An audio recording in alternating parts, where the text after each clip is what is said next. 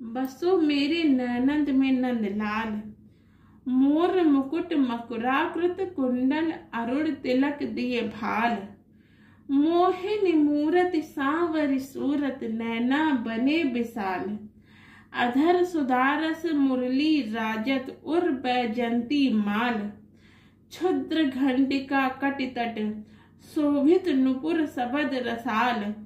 मीरा प्रभु संतन सुखदाई भक्त बछल गोपाल। बोलो द्वारिकाधीश की जय। माता रुक्मणी की जय। द्वारिका नगरी की जय, द्वारिका धाम की जय। अक्षुतं केशवं कृष्ण दामोदरम दामोदरं रामनारायणं जानकी वल्लभम्। अक्षुतं केशवं कृष्ण दामोदरं रामनारायणं, जानकी वल्लभं। कौन कहता है, भगवान आते नहीं। लोग मीरा के जैसे बुलाते नहीं। हरपाल नाम के भगवान के एक भक्त थे। वे खूब भजन करते थे, खूब नाम जाप करते थे। भगवान की साधना करते थे, लेकिन वो ब्याह नहीं कर रहे थे। क्यों? उनकी इच्छा थी, जैसा मैं भजन करता हूँ, जैसी मेरी भक्ति है, जैसा मेरा भाव ठाकुर जी के प्रति है, अगर ऐसी कन्या मिले तो मैं ब्याह करूँगा, वरना जीवन भर ऐसे ही रहूँगा। तभी उनके किसी रिश्तेदार ने बताया, तेरे लायक एक कन्या मिल गई है मुझको। तो हरपाल जी बोले क्या गुण है उस कन्या में? उनके रिश्तेदार ने बोला, कन्या की इच्छा है, मैं उसी से ब्याह करूँगी जो प्रतिदिन एक हज़ार संतों को भोजन पवाता हो, प्रसाद पवाता हो। हरपाल जी बोले, मोहरत भी नहीं निकलवाना, कल ही मेरा ब्याह करवा दो। ऐसी कन्या से तो मैं बिना मोहरत के भी ब्याह कर लूँ। मोहरत उसके संग देखा जाता है यह संकोच हो या फिर दुविधा हो कि उसके संग मेरा जीवन कैसा चलेगा। इस पे तो मेरा भरोसा है, बढ़िया ही चलेगा। मेरा ब्याह इसी से करवा दो। कुछ दिनों के पश्चात हरपाल जी का ब्याह उस कन्या के साथ बड़ी धूमधाम से हो गया।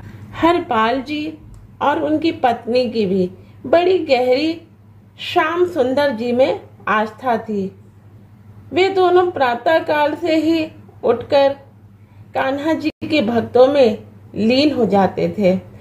तत्पश्चात दोनों दंपति एक हज़ार साधुओं के भोजन की व्यवस्था में लग जाया करते थे। यूँ तो हरपाल जी गाँव के धनी परिवार से थे। इसलिए उन्हें व्यवस्था करने में बहुत तकलीफ़ नहीं होती थी। सारी व्यवस्था बहुत अच्छे ढंग से सुख शांति पूर्वक हो जाया करती थी। कभी कभी साधुओं की संख्या एक हज़ार से पंद्रह सौ, सोलह सौ तक हो जाती थी। पर वे बड़े ही बखूबी ढंग से संचालित कर लिया करते थे। वे सब कुछ बहुत अच्छे ढंग से चला रहे थे। इसी तरह कई वर्ष बीत गए, पर यह क्रम निरंतर जारी रहा। धीरे धीरे हरपाल जी की सारी पूंजी इस भंडारे को संपन्न कराने में खर्च होती चली जा रही थी। धीरे धीरे पैसों की तंगी होने लगी, पर हरपाल जी ने इसका असर भंडारे पर पड़ने नहीं दिया। भंडारा नित्य, लगातार, निरंतर जारी रहा। अब हरपाल जी भीतर से पूरी तरह खाली हो गए थे। उनके पास कुछ भी संपत्ति नहीं बची थी, पर उन्होंने यह बात अपनी पत्नी को नहीं बताई। वे कहीं न कहीं से भंडारे की व्यवस्था कर लेते थे। पैसे खत्म हो जाने पर वे अपने आसपास की दुकानों पर उधार माल लाकर भंडारे की व्यवस्था करने लगे। उनकी पारिवारिक पृष्ठभूमि को देखते हुए कोई किराने की दुकान वाला उन्हें माल देने से मना नहीं करता था। कुछ दिनों तक तो ऐसे ही चलता रहा, पर धीरे धीरे उधार की रकम बढ़ जाने पर दुकानदारों ने उनसे तकादा करना शुरू कर दिया। लेकिन वे उन सभी दुकानदारों का पैसा नहीं लौटा पा रहे थे। धीरे धीरे यह बात दुकानदारों में फैल गई। सभी व्यापारियों ने हरपाल जी को माल उधार देना बंद कर दिया। अब उनकी तकलीफें और बढ़ती जा रही थी। सामान की व्यवस्था न होते देख हरपाल जी ने यह फैसला किया कि वे धनी लोगों के यहाँ अनाज की चोरी करेंगे।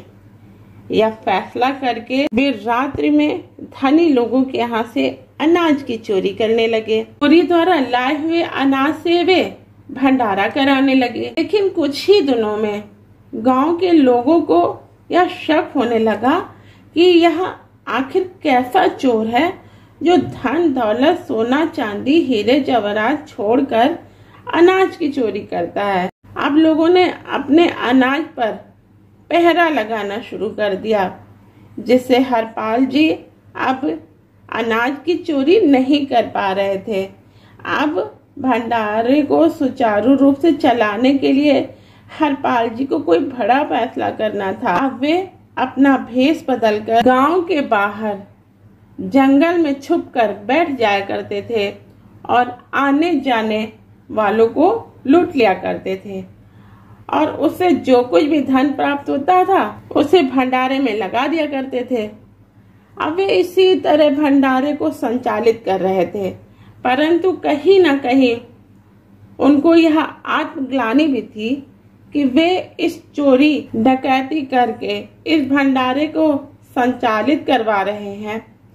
इस तरह की धारणा मन में आते ही वह घंटों प्रभु जी के सामने हाथ जोड़कर बैठ जाया करते थे और उनसे अपने द्वारा किए गए इस अपराध की माफ़ी मांगा करते थे। प्रभु जी से यह प्रार्थना भी किया करते थे कि हे प्रभु जी, मैं यह जानता हूँ कि यह अपराध कर रहा हूँ। चोरी करना, डकैती करना कोई अच्छी बात नहीं है। इसके लिए मैं सजा का हकदार हूँ। पर प्रभु जी, जब तक मैं जीवित रहूँगा, यह भंडारा बंद नहीं हो सकता। इसके लिए आप मुझे जो सजा देंगे, वह मुझे स्वीकार है। प्रभु जी अपने इस भक्त की सच्ची निष्ठा देखकर उससे बहुत प्रसन्न थे।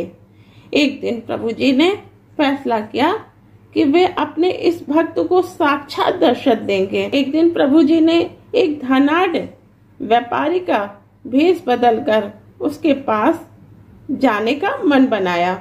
उन्होंने बहुत सारे रत्न जड़ित आभूषणों को पहना, हाथों की दसों उंगलियों में रत्न जड़ित अंगूठिया पहनी हाथों में सोने की छड़ी लेकर जो ही निकलने के लिए तैयार हुए तो ठीक उसी समय माता रुक्मणी भी वहीं आ गई और प्रभु जी को इतना सजे धजे देखकर आश्चर्य में पड़ गई। उन्होंने इतना अधिक तैयार होने का कारण जानना चाहा तो प्रभु जी ने विस्तार से अपने इस भक्त का पूरा किस्सा माता को कह सुनाया। अब माता ने हरपाल जी का पूरा किस्सा सुना तो रुक्मणी जी भी गहरे आश्चर्य में पड़ गई कि ऐसा कैसे हो सकता है। प्रभु जी का एक अनन्य भक्त अपना सब कुछ लुटा के चोरी डकैती करके प्रभु जी के नाम का भंडारा कर रहा है, आज भी चला रहा है। यह भक्त तो भक्तों में शिरोमणि है, जिसे लाभ, हानि, पाप, पुण्य का कोई भय ही नहीं है, और वह निरंतर भंडारा चलवाकर प्रभु जी की सेवा में लगा हुआ है। अब रुक्मणी जी की भी प्रबल इच्छा होने लगी भगवान के ऐसे भक्त से मिलने की। उन्होंने अपने इस इच्छा को प्रभु जी के सामने प्रकट कर दिया। थोड़े मनोहार के बाद प्रभु जी मान गए।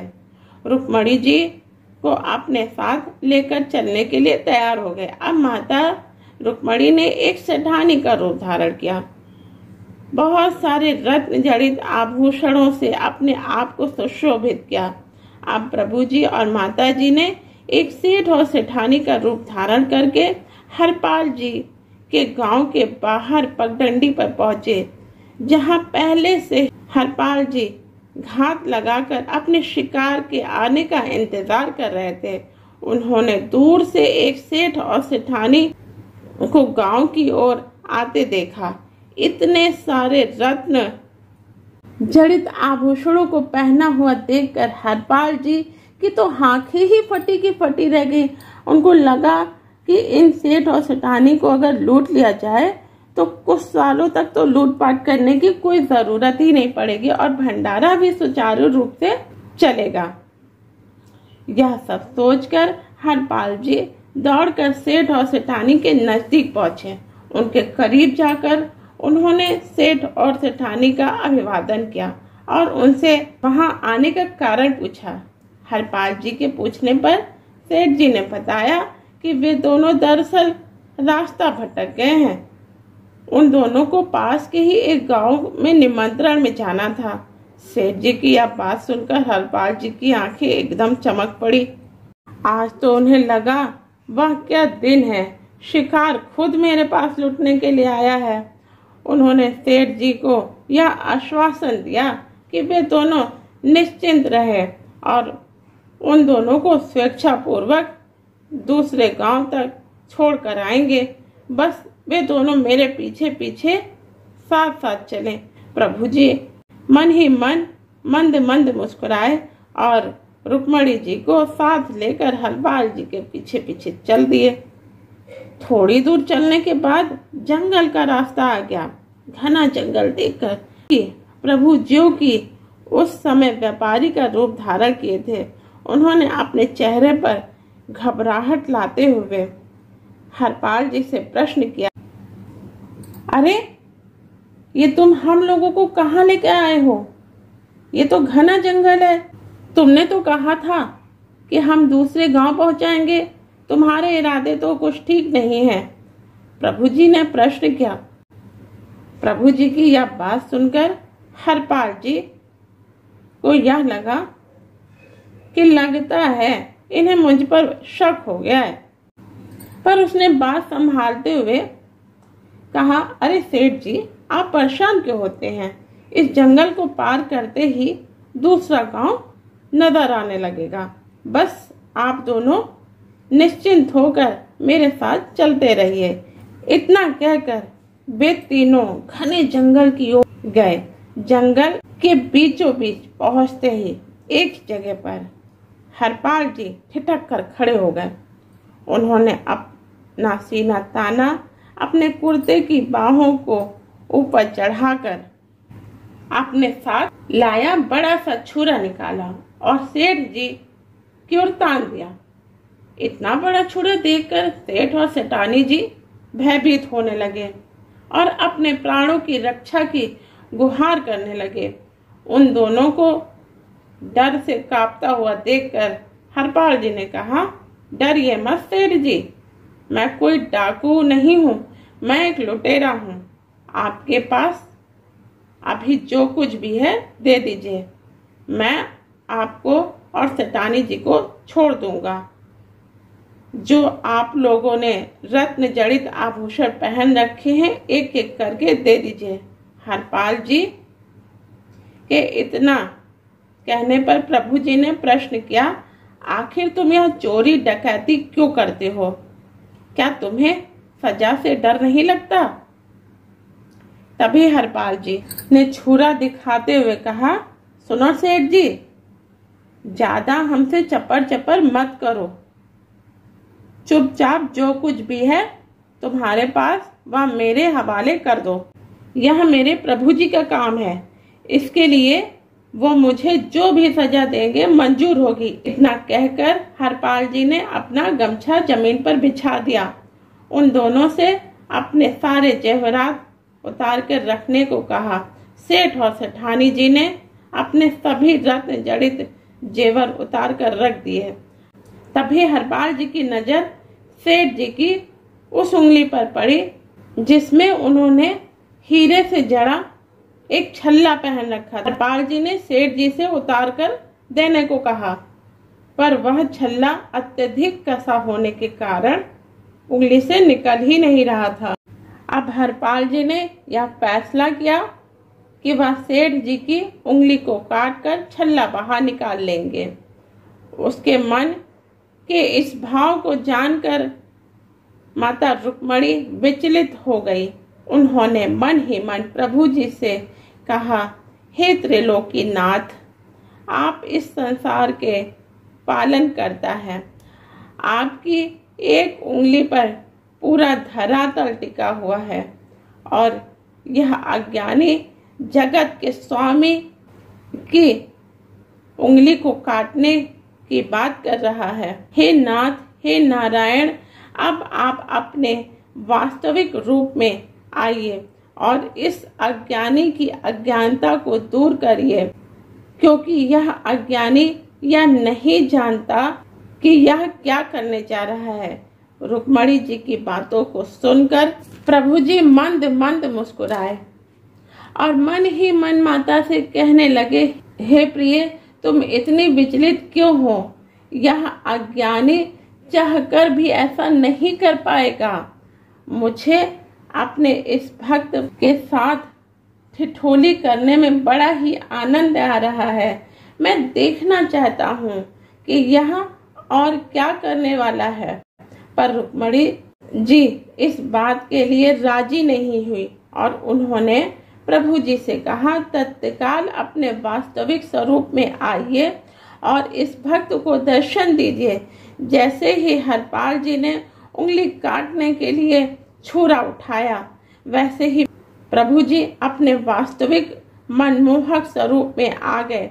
प्रभु जी और माता रुक्मणी को वास्तविक रूप में अपने सामने खड़ा देखकर हरपाल जी को अपनी आँखों पर विश्वास ही नहीं हो रहा था। वह फ़ौरन छुरा फेंक कर प्रभु जी के चरणों में गिर पड़ा और रोते गिड़गिड़ाते हुए कहने लगा, हे प्रभु, मेरा अपराध क्षमा करने योग्य नहीं है।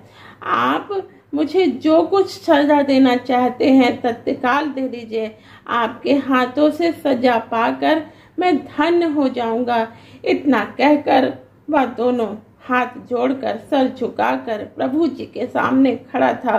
प्रभु जी ने अपने दोनों हाथों से उसे उठाया और उसे कहने लगे, हे मेरे भक्त हरपाल, मैं तुमसे बिल्कुल भी नाराज़ नहीं हूँ।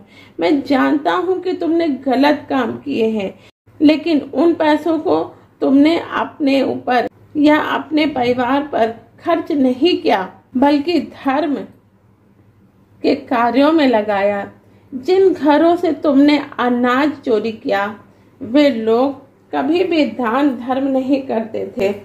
इसलिए उनके यहाँ चोरी किए गए अनाज को भंडारे में लगाकर तुमने उन्हें पुण्य का भागीदार बना दिया। हे भक्त शिरोमणि हरिपाल मैं तुम्हारी भक्ति से बहुत अधिक प्रसन्न हूँ।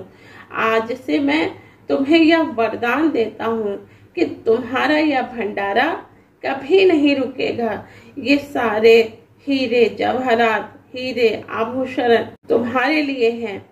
तुम इन्हें अपने साथ लेकर जाओ। तभी हरपाल जी बोले कि, हे प्रभु, आपने दर्शन दिए। इसके लिए मैं आपको कोटि कोटि धन्यवाद करता हूँ। मैं आज से आपका कृतार्थ हो गया। हे प्रभु, मेरी एक छोटी सी प्रार्थना है और जिसे आप स्वीकार कर लें तो मैं धन हो जाऊँगा। दरअसल, इस भंडारे के कार्य को करने का श्रेय मुझे नहीं, मेरी पत्नी को जाता है, जिसने मुझसे यह कार्य करने के लिए प्रेरित किया। हे भगवान, मेरी छोटी सी विनती है, मेरी पत्नी को भी दर्शन देकर उसे भी कृतार्थ करें। प्रभु जी ने उसकी इस इच्छा को सहर्ष स्वीकार कर लिया। अब दोनों पति, पत्नी, प्रभु जी और माता रुक्मणी के दर्शन को पाकर धन्य हो गए थे। उस दिन के बाद से उन पति, पत्नी के सभी कष्टों का अंत हो गया। तो यह थी भक्त शिरोमणि हरपाल जी की कथा। इसे हर भक्त को सुननी चाहिए। बोलो, श्यामा, श्याम सुंदर की जय। बोलो राधा कृष्ण की जय। बोलो द्वारकाधीश माता रुक्मणी की जय।